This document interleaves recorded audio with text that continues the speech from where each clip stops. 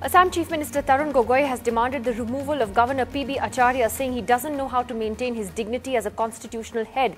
Mr. Acharya was first reported as saying that Hindustan is only for Hindus, but when he decided to clarify that comment to the media, he went a step further and said that Indian Muslims are free to go to Pakistan or Bangladesh.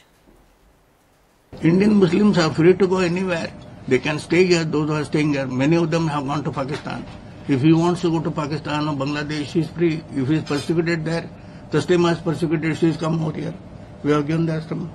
बहुत कम आते हैं आएंगे तो आश्रय दे देंगे ना India is big hearted who gave see good old days when 100 percent Hindus are in India 100 percent We see this is type of should not be continue as a governor, and particularly why a state like Assam, which is most important state strategically otherwise, a permanent governor has not yet been appointed. Why? Hindus मतलब वो हिंदू धर्म के हिसाब से नहीं बोला है ये सब एक सर्वधर्म संभव जो अपना कंसेप्ट है उस हिसाब से उन्होंने कहा है Well, this isn't the first time that a governor has, and this particular governor has found himself in the middle of controversy should he be asked to leave this position. Sambit Patra, what is the BJP's official reaction to what Mr. Acharya has said? Do you believe that he just went too far and really openly, overtly politicized his position today?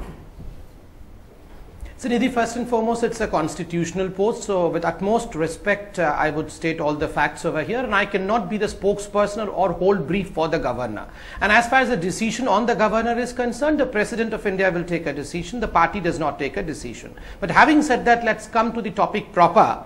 I would say an academic uh, uh, intention was lost in bad articulation. See, articulation is not everyone's cup of tea, though I believe that every politician, uh, or for that matter of purpose, every constitutional post uh, uh, should be very articulate. But in this particular case, as your report itself mentions, that for the first time, this particular governor, Mr. Acharya, has entered into controversy, which means that he is not a controversial person. He does not make, in general, such kind of uh, statements. Today, I believe he was speaking on the occasion of National Register uh, for Population in Assam, which is uh, underway. And during that period, an academic point by him really got him into a tangle. And in an effort to escape from that tangle, he further entangled himself by misarticulation. You're calling it misarticulation. So, you acknowledge that it was a misarticulation. Is that all it was? Is that, should a See, constitutional Nidhi, I, Nidhi, let, let's make way? it very clear. Yeah. Nidhi, let, me make few things very clear. Yeah. Uh, this daily debate of uh, Hindus, Muslims, and some people go to Pakistan, some come from Pakistan. We do not subscribe to any such kind of feelings or debates. We firmly believe that India is an inclusive, pluralistic country, and the agenda of Bharatiya Janata Party and for any and every constitutional post in India should be and is development. So we do not buy anything uh, articulated to that effect. But I firmly believe, I've gone through the whole article that the newspapers have come up with, and I believe that the governor should be given a benefit of doubt over here. Though I am no one to give a benefit of doubt, but I firmly believe he is not a person who wanted to make such kind of statement. Academically, he was registering on the natural home phenomena in citizenship and refusal, uh, which Israel and India generally have spoken about. In that This line, he a good misarticulated as far as leaving to Pakistan is concerned. I, I. I, this is why you're a good spokesperson because you have found. No, I'm not defending. Aarti, I know, I'm not I know, trying to defend but you're trying to either. articulate Why something should I defend any as, governor? as, as best you can.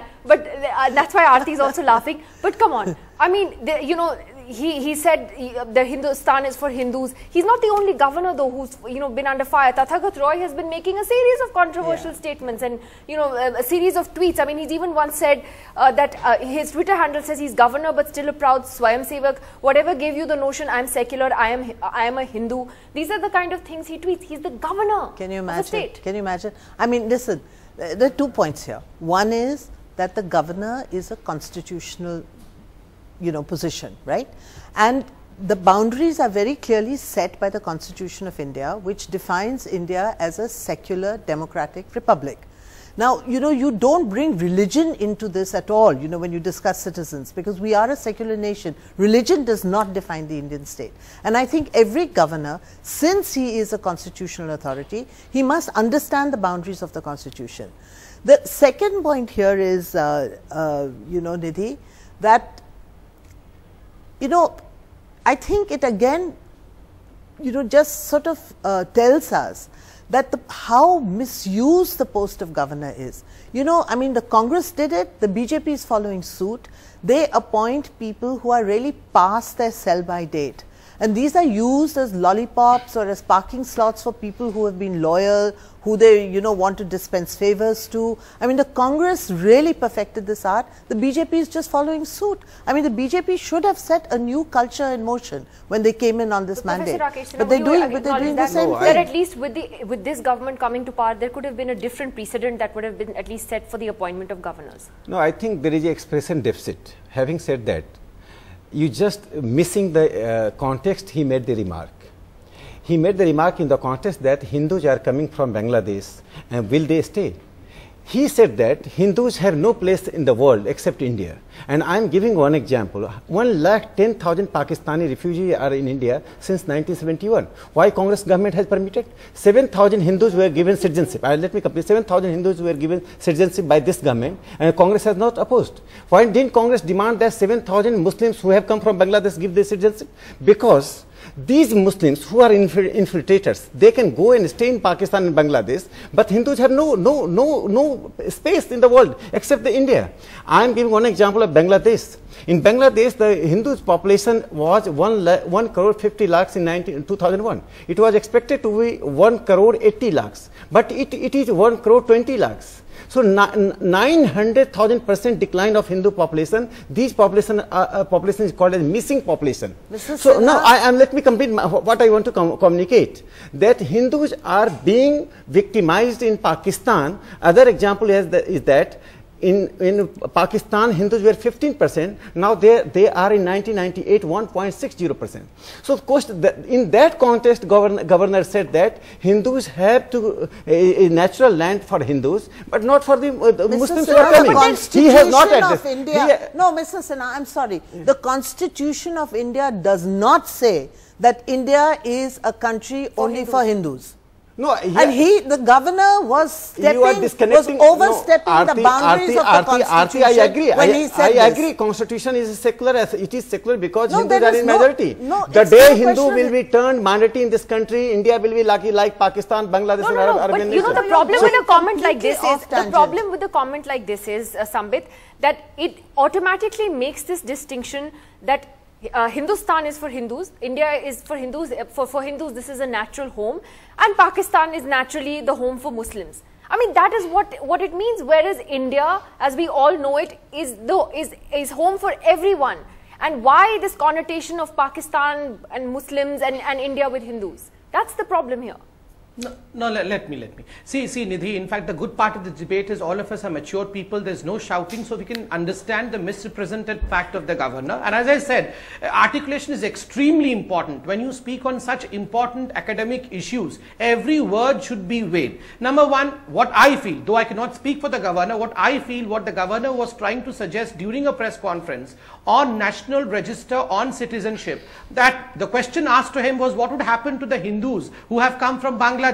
Would they be put under scrutiny or would they be allowed to live in India as refugees? To which he replied that, well, yes, it's a natural home to them. Where would, where else would they go if Hindus were to be prosecuted? The example was 21. I mean, when, when Bangladesh was separated, it was 21 percentage Hindu population there. Today, it is less than 8 percentage, approximately 7 percentage. So there is a great deal of persecution of Hindus and minorities in Bangladesh. So where do these minorities go? He said that just as Rohingya Muslims, Tibetans, or just as other Muslims can also come and settle in India, these Hindus have their natural home in India, so they need not go anywhere else. They can come and settle over here. We will grant them the refugee status.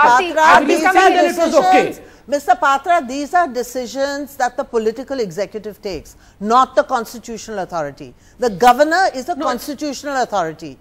He could, if, if somebody asked him that question, he could have said, well, the government will take a decision on this. It's not for him to decide. He has to speak within the boundaries of the constitution.